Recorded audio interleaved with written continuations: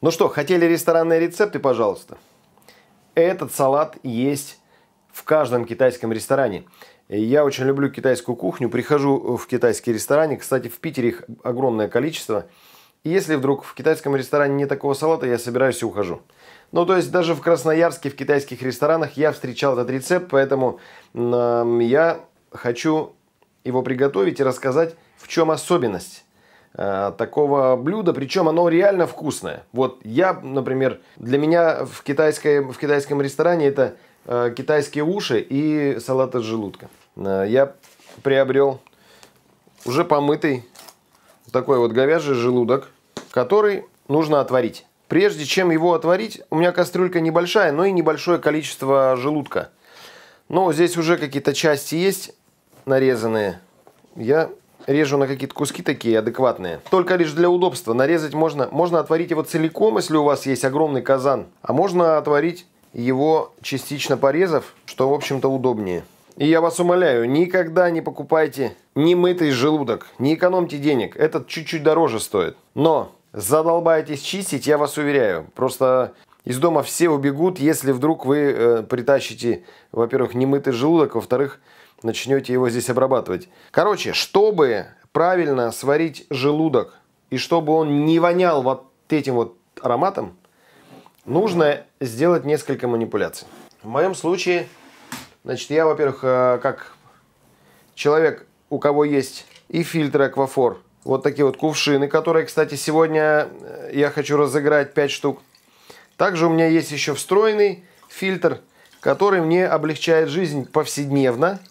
Ну и, соответственно, вот этот один фильтр, кстати, надо будет э, маме отвезти. Во. У нее день рождения 2 декабря, повезу ей вот такой маленький подарок. Значит, 5 счастливчиков получат вот такой вот пластиковый кувшин, который называется Орлеон. Аквафор – это наш спонсор, который предоставляет все эти призы. В предыдущий раз 5 человек стало счастливчиками, выиграли. Правда, мы не до всех можем дозвониться, но мы никого не избираем вновь мы пытаемся все-таки довести подарки для, до тех людей. Значит, какое бы вам задание такое дать, чтобы было несложно и чтобы было интересно? А давайте вот что сделаем. А, прокачаем себя с точки зрения английского языка хотя бы на 1 миллиметр. Я был в Таллине, привез вот такую вот табличку. Never trust a skinny cook. Да, и давайте я покажу на всякий случай, чтобы вдруг, если кто-то не запомнил. Нужно написать в комментарии перевод вот этих вот английских слов. Поставить хэштег аквафор и обязательно сделать репост этого видео. Ну и обязательно вы должны быть подписаны на мой канал. Смотрите, я залил водой его, просто водой залил. Ничего такого не произошло. Соль не добавляю, ничего не добавляю. Теперь я его довожу до кипения. Как только закипело, я сливаю воду, наливаю новую, фильтрованную. Довожу до кипения. Желудок должен кипнуть 4 раза. Пятый раз мы варим. Вы спрашивали ресторанные рецепты. Вот так мы заморачиваемся в ресторанах. Для того, чтобы, во-первых, желудок не вонял, потому что 5 раз кипнув, уходит вот, э, вот этот запах. Ну и, соответственно, чем чище будет желудок, чем чище будет вода, которую мы, конечно, в итоге не используем, тем вкуснее будет финальный результат.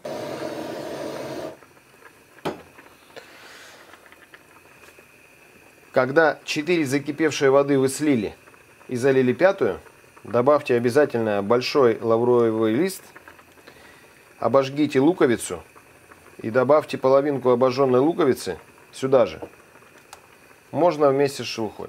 В общем, в итоге он у нас варился ровно 3 часа. Вот он варился-варился, потом я его оставил, э, он там остывал в этом бульоне. В итоге пора из него делать салат. Режем так, чтобы было удобно есть палочками. Ну, то есть для этого же, в общем, все и создано. Тоненько нарезаем наискосок все наше отварное чудо. И складываем э, сюда же в чашечку. Когда уже желудок нарезан, вот такими вот палочками-выручалочками, которые удобно брать чопстик китайскими палочками. Вот они. Тут местами где-то у меня топор не дорезает чуть-чуть. Или я редко им пользуюсь, знаете, руки отвыкают. Дальше добавляем все ингредиенты без разбору. Значит, во-первых, чеснок, сырой чеснок. Вернее так, знаете, я предпочитаю всегда не туда добавлять, а сделать отдельный соус, которым потом все это заливаю. Чесночок. Раздавить его в пасту, ну, чтобы куски не попадались на зубах. Зубчик сюда. Пару ложек соевого, чтобы уже чеснок сюда, знаете, как бы распространял свои флюиды по соевому. А соевый в это время его, так сказать, сдерживал и подваривал. Имбирь пластинками. Теперь все это нужно нарезать соломкой и потом кубиком. Все должно быть мелко-мелко-мелко-мелко.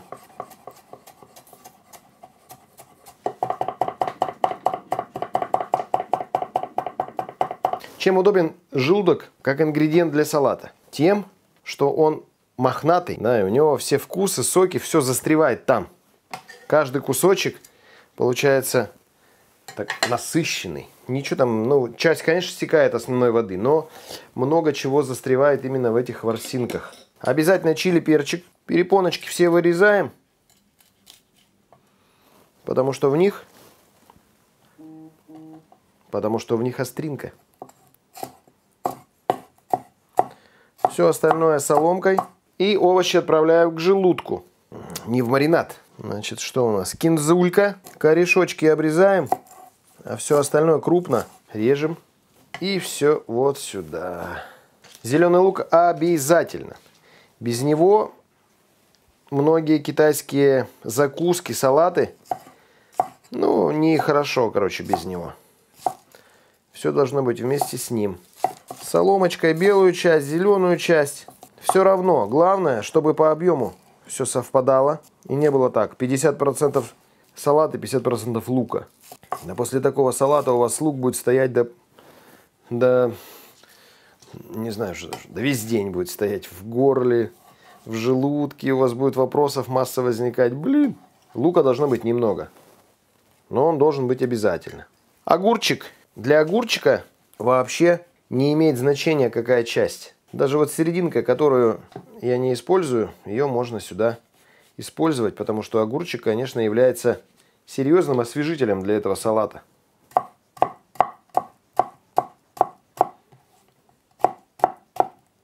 Ну, почти все. Осталось заправку только добить. Значит, у меня есть вот такой вот чили. Чили с соевыми бобами и маслом, пережаренный, да. Называется лауганма. Очень эм, э, популярная в китайских магазинах вообще штука. Она в меру острая, но имеет вот какой-то привкус жареных бобов, там, в общем, чего-то соевых, там еще чего-то. Такая ферментированная вещь. Она бывает, вот если полностью красная, это э, вегетарианская, а если с желтым вот таким вот э, светом вокруг няни, э, то бывает кусочки курицы там попадаются. Поэтому у меня когда масло в ней заканчивается, я, вычер... я обратно э, сюда заливаю еще обычного растительного и настаиваю, перемешиваю. Вот, это вот такая вот паста, не паста, как это правильно назвать. Ну, такая субстанция. То есть вот тут два раза, ну, одна чайная ложка – этого будет достаточно. Рисовый уксус. Обычный рисовый уксус. Тоже примерно чайная ложка. Его много не надо. Он только так, для подкисления. А вот соевого я бы добавил еще бы одну ложечку. Знаете, что делают чаще всего китайцы? Для того, чтобы сделать этот соус более однородным. Они добавляют туда пару ложек куриного бульона. У меня есть куриный бульон. Если его нету, значит, можете развести его из какого-нибудь концентрата. Если вы концентрат не держите, ну, когда будете готовить рецепт, возьмите там а, пару голени в магазине, бросьте просто в сотейник, пусть чуть-чуть поварится. У меня есть тут куриный бульон наваренный. Давайте отмеряем, чтобы для всех была какая-то мерная доза. Ну, типа из серии вот одна ложка – ну, две ложки, да, столовые. Можно и водой развести, просто бульон, знаете, такой привкус дает своеобразный. То есть, как мы э, в ресторанах все разбавляем куриным бульоном или овощным бульоном, в зависимости от того, какой направленности ресторан. И вот, вот этим вот соусом я заливаю божественно, божественно. По всем законам жанра, Мне бы нужно было достать откуда-то глютамат натрия, все это обильно посыпать, чтобы аж хрустело на зубах. Так делают в китайских ресторанах. Но я так особо не практикую глютамат натрия, поэтому у меня он, скажем, не такой вау, вкусный. Он у меня просто вкусный будет. Да, а кунжутное масло. У меня бутылочка новая. Чуть не забыл. Начал махать руками и увидел кунжутное масло. Значит, сюда в заправочку. Чуть меньше столовой ложки, но не до края, во всяком случае. Ну, в общем, пора все это поливать. В некоторых ресторанах это блюдо называется говяжий желудок, приправленный красным маслом. Ну вот примерно из-за вот этих чили-бобов оно и является красным. Есть, конечно, еще ряд всяких чили-паст, которые китайцы используют. Ой, вкусно как! Кстати, не очень остро. Я бы остроты сюда побольше. Ну, я, он, у меня есть Каролина Риппер сольчик. Я ее могу сюда. Да и у меня и перцы перепири есть. Теперь смотрим, что нам не хватает в этом салате. Я, значит, всегда как размышляю. Я был в китайском ресторане не раз. И здесь в Москве я хожу там в один э, ресторанчик и всегда заказываю это блюдо. Что очень обожаю говяжий желудок. Так вот, для того, чтобы оно стало такое же по цвету, как в том китайском ресторанчике, мне нужно сюда добавить еще пол ложки соевых бобов с маслом. И пару капель кунжутного. Потому что ароматика маленькая. Должна быть яркая. Кунжутное масло всегда покупайте темное, из жареного кунжута, ароматное. Если кто-то вам за дорогие деньги впаривает типа холодный отжим, оно прозрачное, белое, без вкуса, без запаха, зачем переплачивать? Ну просто возьмите и подсолнечного налейте. Но кунжут свой славится тем, что вот он должен иметь ореховый аромат. О, вот цвет появился.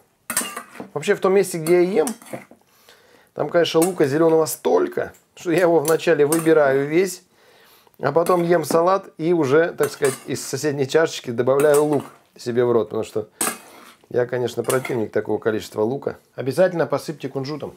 Ну, во всяком случае, у нас так всегда в России принято. Если что-то посыпано кунжутом, значит это азиатская кухня. Не знаю, где мои палки, я буду есть вилкой. Пусть у всех сломаются стереотипы. Азиатская кухня и вилка есть. Что это такое? Аромат потрясающий. Здесь все перекликается. Чеснок, имбирь, ароматное кунжутное масло, легкая какая-то пряность от э, чили перца, теплая такая э, составляющая. Свежесть от огурца, яркая кинза и такой ореховый легкий кунжут. Лично по мне так я просто вот обожаю такие запахи. М-м. Желудок достаточно мягко сварен. Он все равно, конечно, он не будет стоять во рту. Его надо пожевать немного. Но для меня это вот прям м-м, божественная штука. Я давно хотел приготовить этот салат, но тут решился – желудок варить долго.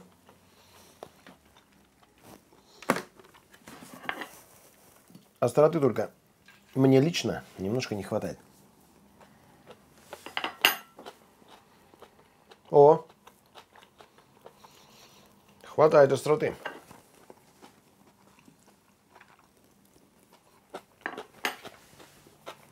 В общем, я все к чему это. Вы хотели азиатскую кухню.